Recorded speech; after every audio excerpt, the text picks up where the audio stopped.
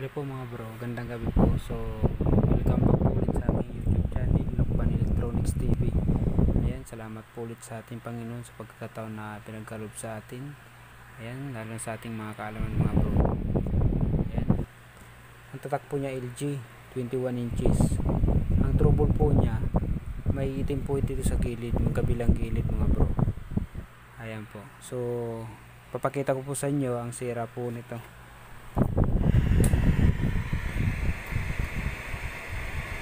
Tama bro. Ayan. Ayan.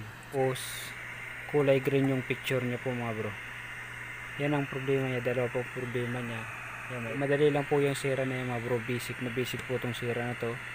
Eh, alam na alam na po ito sa mga lalo na yung mga matatagal ng technician. So alam na alam po itong sira na to.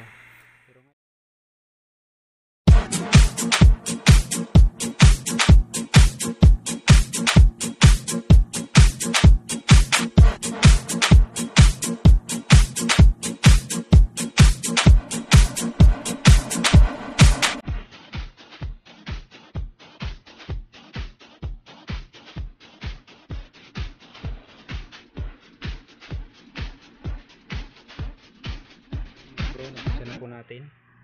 So, ayan. So, tuturo ko po sa inyo mga bro ang malimit na sira sa ganyan. Ah, marami na po akong nagawa na ganitong trouble. So, pero ngayon na po ako mag-bolt. 100 microfarad at saka itong malaki. 160 volt 220 microfarad. Ayan. So, dyan muna tayo sa apat na yung mga bro. Ito. 250 volt 4.7 microfarad. So, bago tayo dito pumunta mga bro, unahin muna natin itong dalawa mga bro. Ito. Itong dalawa. So, unahin natin itong malaki na to. Magpalit po tayo. Nakabit na po natin yung ating kapasitor. Ngayon, try natin i-testing po yung ating TV. So, saksak po natin. Ah, Saglit lang mga bro. Ayan, saksak natin na po. Ayan, may power na po siya. So on po natin. So ayan, nag-on na po siya. Ah, Ayan, titingnan natin kung wala na. Ah, mayroon pa rin mga bro. Ayun oh. Ayan mga bro, ganun pa rin. Ganun pa rin ang problema po niya mga bro.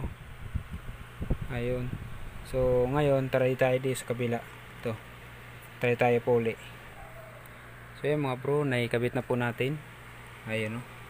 So naikabit na po natin. Ngayon, ito try natin isaksak yung ating TV. Ayan. So saksak po muna natin mga bro. Ating TV. Pasensya na po kayo. Medyo magalaw yung ating camera. Ayan. So try natin saksak po ulit mga bro. So yan, nakasaksak na po siya. So ayan, naguna po siya mga bro. So ngayon, try natin kung okay na yung picture niya po mga bro. So ayan mga bro, okay na po siya. Ayan na.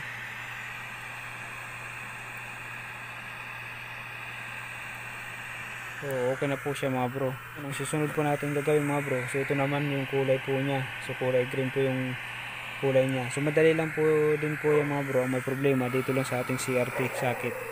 Ito. Yan dyan na may problema po niyan mga bro. So susukatin natin dyan yung RGB. Ibig sabihin ng RGB red, yung R, yung G green, at yung B blue. So dito lang tayo mag voltage checking mamaya mga bro. Ayan, so pero okay na po ang ating screen. Wala na itim. So ito naman po susunod natin. Ayan. So mga bro. Ayan, so ganun pa rin yung ano niya po, yung kulay niya po. So ang ginawa ko na po, pinalitan ko na rin po yung CRT socket niya. So wala pa rin, ganun pa rin mga bro. Pati yung jungle IC na po, pinalitan ko na rin. So wala na rin po mga bro. Ayan, so posible picture tube niya may problema. Ngayon try natin i-rejuvenate po natin mga bro. Ayan. So try natin i-rejuvenate kung makakaya pa mga bro. Ayan. So lahat napalitan ko na. Jungle IC, yung CRT socket mga bro ito. yung chroma board niya. Napalitan ko na. So ganun pa rin mga bro. Ayan. So nagpush push siya naman bro. Hindi kagaya kanina. Sobrang green na green. Ayan. Mula nung napalitan ko lang jungle ice mga bro. Ayan. So nagpush siya push siya push siya. So hindi siya dark green. Kanina dark dark green po siya mga bro ngayon gagawin natin magre-rejuvenate po tayo mga bro. So ayun mga bro. So ito na yung ating pang rejuvenate po natin. Yung kulay blue po na to ay ating 220 220 po yan. At ito naman po yung ating 6 volt. Ayan. So yung isa dito ground at yung isa 6 volt. Ayan. So may 6 volt po siya at may 9 volt pero malimit ginagamit ko po yung 9 volt. So ngayon yung isang ating 220 dito dito natin ilalagay sa ating G1 ayan. So ang G1 po natin ito mga bro. G1 at yung isa naman natin na to ito po yung ating panglipat sa ating RGB sa RGB po natin to mga bro. Red, green, blue. Ayan tapos yung ito naman po mga bro itong dalawa heater po mga bro. Sa heater heater 1 ayan dito po tayo maglalagay. At saka sa heater 2 ayan magkatabi po yan. Heater 1 heater 2 at ito naman yung ating kulay blue na isa. Ayan po yung ating RGB so ngayon titesting muna natin tayo sa ating sa ating green ayan ito po yung ating green ayan So ayan, simulan na natin, saksak po natin. Ayan. So mangyayari nito mga bro, pag madumi ang ating picture tube, so nag ano po yan, nagkikisap-kisap po yung ating yung ating ilaw.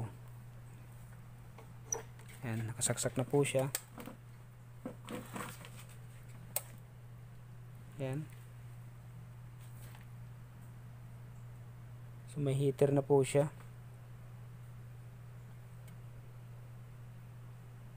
Yan o.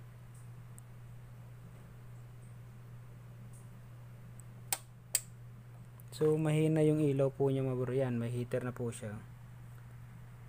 Patayin natin yung ilaw. Ayan o. Yan, so Ayan, may heater na po siya. Kasi yung ilaw natin dito ay mahina. Ayun. Sabihin, madumi yung ating picture tube.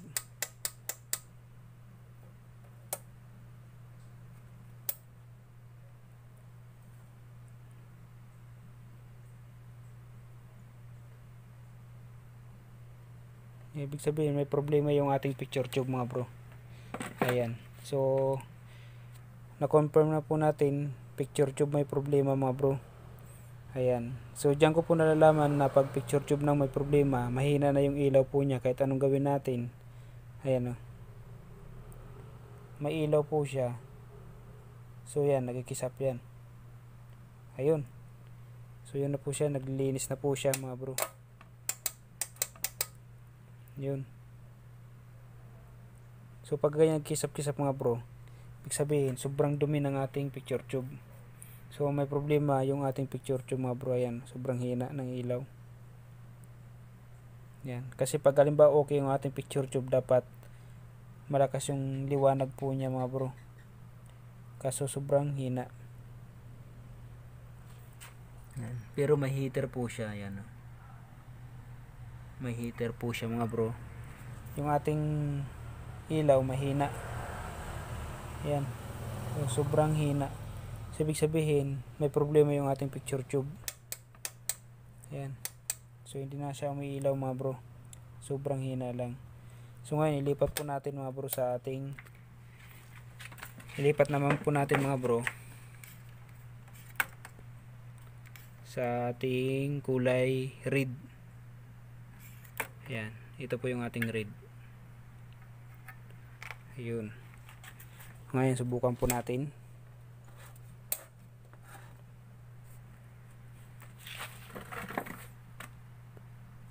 Ayan, may heater na ulit siya. Ayun, nagkikisap-kisap. Yun o. Sobrang dumi ng ating picture tube. So makikita nyo dun sa loob, ayun o. Nagkikisap-kisap sa loob din.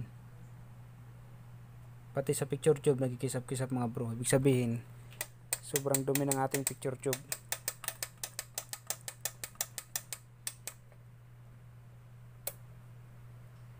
Ayan o.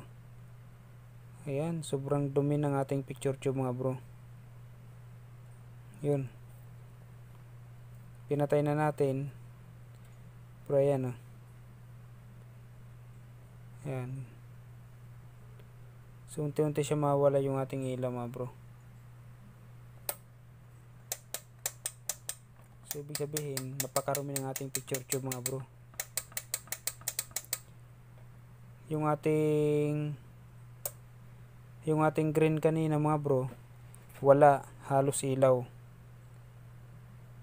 Ayun o.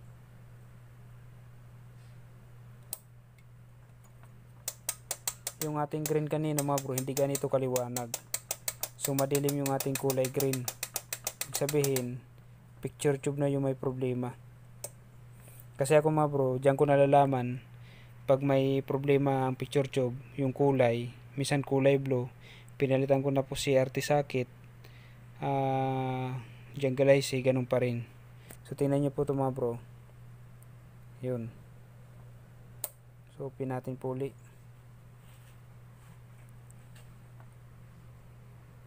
Yan.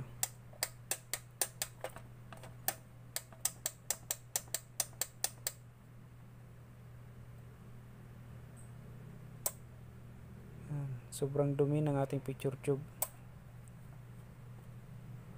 And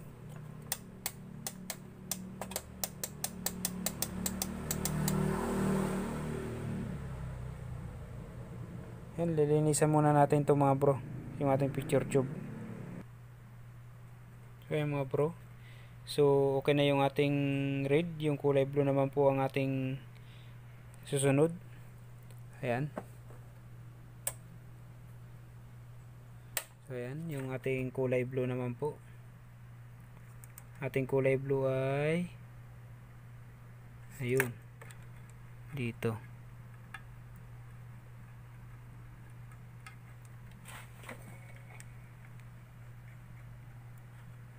Ayan. So nakasalpak na yung ating kulay blue. Ngayon on natin.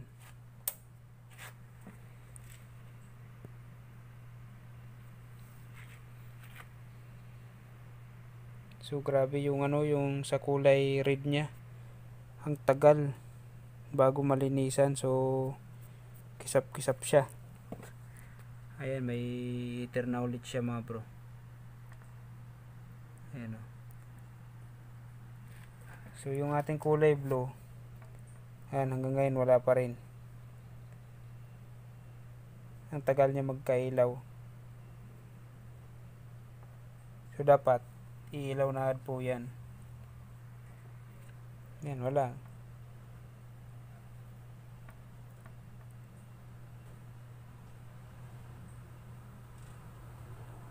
yan meron siya kaso mahina so hintayin natin mga bro kung magkakameron mga bro. Yan o oh. meron siya parang maligam-gam lang mga bro. So hindi masyado kita sa camera. Pero meron siya unti lang. Ayan. So ang may problema yung ating picture tube na mga bro. Ayan umilaw yung ating red ay yung green kanina wala. So mahina lang din so yung kulay blue ayan o naka on pa rin siya mga bro. Naka on yung ating 6 volt. Lagay natin sa 12, 9 volts kunti. Ayan wala pa rin. 6 volt balik natin. So naka on na rin yung ating switch. Ayan. Yun. Ang tagal. Ayun yun. So, may problema talaga ng ating picture tube mga bro. Tingnan nyo po. Sobrang tagal kanina pa. Pero ngayon lang, umilaw. So, makikita nyo dito, magkikisap-kisap po yan dyan mga bro. Ayan.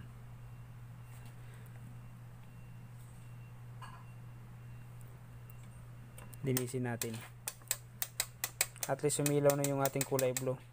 Yung mamaya, babalikan natin mga bro yung kulay green po niya. Ayan, sobrang hina talaga ng ilaw. So, dyan yung makikita yung madumi yung ating picture tube o masira ang ating picture tube. Ayan. So, pag malinis na siya picture tube, pag pinatay niyo po itong 6 volt, dapat dahan-dahan ang ilaw niya yung ganyan. Ulitin natin. Yan no. So, sobrang dumi talaga ng picture tube. Diyan yung malalaman na marumi ang ating picture tube. Nagkikisap-kisap po siya. Yan. So, linisan natin lang muna ulit mga bro. Pus ko muna po. So, yan mga bro. Okay na po yung ating blue. Ngayon, balik po tayo dun sa ating kulay, kulay red bro, mga bro. Balik po tayo sa ating kulay green kanina na una na sinelpak. Ayan. So, ito po. Balik natin.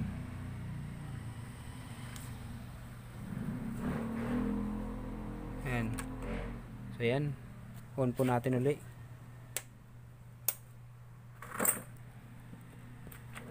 Ayan, may heater na may heater na rin siya. Ayan. Pero wala wala pang ilaw. Diyan may ilaw siya mga bro. Mahina lang. So mahina yung ilaw niya mga bro. Hintayin natin. Kung magkakamero na ilaw. Ayan, mas lalo siya humihina. Ayan, post ko muna mga bro. On ko na lang mamaya. Pakita ko sa inyo pag umilaw na ulit. So yun mga bro, wala pa rin talaga yan oh. So hindi pa rin talaga siya lumalakas yung ilaw. So yun po yung ating So yun mga bro, wala talaga. Ayan. So dyan malalaman na may problema ang ating picture tube. Ayan, try natin ibalik sa ating ibang ano. Try natin dito sa ating kulay red uli.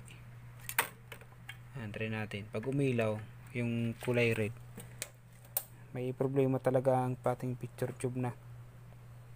Yan. Yan, umilaw na siya. Umilaw na yung ating kulay red. Ayan mga bro. So, ibig sabihin, yung kulay green na may problema. So, picture tube na ang ating problema mga bro. Ayan, nakumpirma na natin. Patay na natin mga bro. So, ayan. So, malaking tulong din po itong rejuvenate, yung rejuvenated po natin na DIY na ginawa. Kaya mga bro. So, malalaman agad yung ating problema na picture tube. So, kahit anong palit natin ng ating CRT socket, jungle IC, kahit anong gawin natin dyan, pag hindi nalaman na picture tube problema, nako, tatagal lang tayo mga bro. Ayan, kumpirmado mga bro, picture tube na may problema. Ayan, susaksak natin. Ayan, nakasaksak na po siya mga bro. Tingnan natin kung ano nangyari sa ating ginagawa. Uy, ayun, may pagbabago mga bro. Ayun, oh. Ayun. So, sala, ay, ba't ganun? Ah, hindi umiilaw yung ating rejuvenate kulay green. Pero ayan, oh. Naayos siya mga bro. So, ibig sabihin, nalinisan yung ating picture tube. Pero nakapagtataka, yung kulay green, hirap umiilaw. Hindi siya na umiilaw yung ating kulay green kanina. Ayan, umi yung ating ano. Ayan, ayos na. Hindi ako makapaniwala mga bro. Ayan. Ayan o. Oh. Ayan, ang dino mga bro. Ayan, salamat sa, salamat sa Diyos na gawa yung ating TV. Ayan, so nadala lang siya sa ating pagre-rejuvenate. Ayan. So kala ko ay hindi magbabago yung kulay. Kasi yung kulay green ayaw umilaw yung pang-rejuvenate natin. Pero yan. So natutuwa ako mga bro, natutuwa talaga ako. Ayan o. So hindi ako mapakali dahil napagana natin yung ating TV na napalinaw ayan salamat sa Diyos so thank you Ayan, thank you, thank you, thank you sa ating Panginoon. Natutuwa lang ako mga bro dahil gumana yung ating TV. Ayan.